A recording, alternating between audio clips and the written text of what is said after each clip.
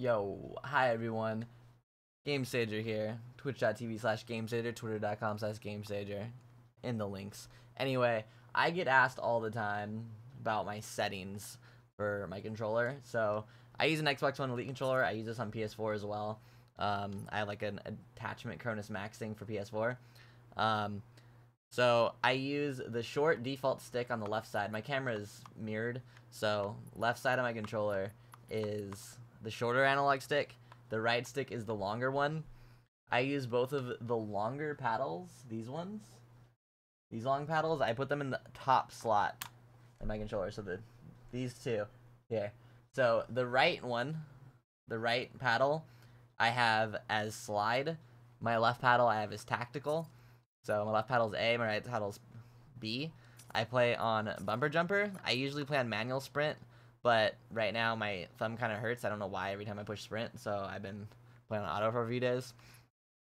So I'm on bumper jumper. Default sensitivity, same for ADS and hipfire. My response curve, I have steady. This is one of the biggest things I think helps out a lot. Um, a lot of people like classic, but steady is just, it just works really well if you read over there firm control and fast aim. What this one does, I believe, is in the center of your or your analog, it's a little slower, and on the edges, it's faster. So you have a little more control in the center of your analog stick. I have my dead zone here off. Dead zones basically is if you have drift on your controller, it makes it so the very center of your analog doesn't respond at all, and I like to have that off. So this one you can't turn off. You just put it to small my vibration is off. So now that's all my settings in game. Also, I hold on, I guess I can show you this. I'm on 94 field of view right now. Color blind Tritanopia because it makes it so everyone's pink. I just thought it looked cool. Don't really need it. But another thing, I have depth of field off. Most people usually turn this off. Um, so let me show you my elite controller settings. These are what are a little different. Should have thought about this a little better before I started making the video. I'm getting my better. I, I just got a new microphone and a new headset and stuff. Um, I haven't got my microphone stand yet, so my mic's a little further than it should be. But, so, here is my controller. So I have the left stick on smooth and the right stick on smooth.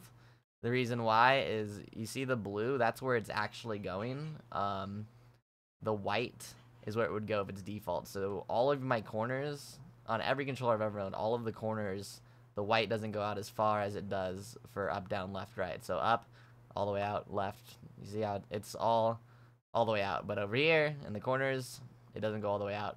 So I set my sticks to smooth with radio calculation at negative 2. This is for my left stick. You might need to test it on your own to make sure it's the same. On my right stick, also smooth. This one is negative 3. I don't know why it had to be a little different, but that's why that's what I do for both of these to make it so it's pretty much the same motion no matter which direction I'm pointing. I have my trigger. I put my right trigger at 0 and 20. This makes it so it's a full press.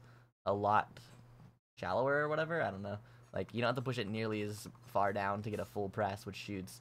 The reason I have it at 0 and 20 and not a little further than that to where it's almost instant is because if it's too low, then when you're using a semi-automatic gun, the sometimes the controller won't register that you let go of the trigger and your gun will jam it won't shoot because it thinks you're trying to full auto a semi-auto. So 0 and 20 for my triggers smooth like that a and b on my left. I don't use the bottom two paddles. I use both long paddles top left and right. And that's pretty much it. So people kept asking me for this video. Hope you guys enjoyed